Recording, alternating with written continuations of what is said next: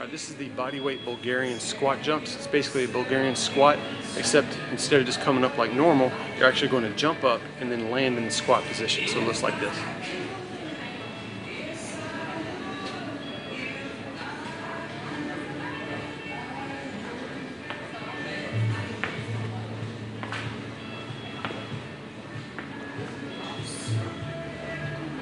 And that's the Bulgarian jump squats.